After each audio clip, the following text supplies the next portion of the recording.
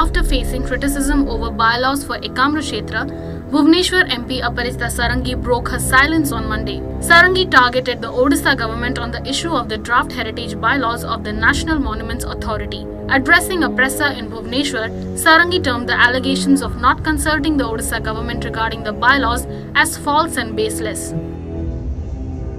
Draft bylaw objection hearing ପାଇଁ ଅଛି ଯଦି ଆମର କିଛି ଅବଜେକ୍ସନ ଅଛି ରାଜ୍ୟ ସରକାରକୁ ମୁଁ ଅନୁରୋଧ କରିବି ଯେ ସମସ୍ତଙ୍କୁ ପଚାରିକି ରୁମ୍ରେ ବସିକି ନାହିଁ ସମସ୍ତଙ୍କୁ ପଚାରିକି ଆମ ସେବାୟତ ବନ୍ଧୁମାନଙ୍କୁ ପଚାରିକି ଆମମାନଙ୍କୁ ପଚାରିକି ପ୍ରତ୍ୟେକ ଲୋକ ପ୍ରତିନିଧିକୁ ପଚାରିକି ଦଳ ମତ ନିର୍ବିଶେଷରେ ସମସ୍ତଙ୍କୁ ପଚାରିକି suggestion or objection ministry of culture ପାଖକୁ ପଠାନ୍ତୁ ଏନ୍ଏମ୍ଏ ପାଖକୁ ପଠାନ୍ତୁ ଏଇଟା ସାହସ ହେବା ଦରକାର ପବ୍ଲିକ୍ ହିୟରିଂ କରନ୍ତୁ ଯେଉଁ ଡ୍ରାଫ୍ଟ ବାଇଲ ଆସିଛି ଯେଉଁଟା କିଏ ତିଆରି କରିଛି कर्मचारी डायरेक्टर कल्चर culture કે report Furthermore, Sarangi also slammed the state agencies for not taking central agencies like ASI into confidence while taking up the demolition drive in Ekam Kshetra.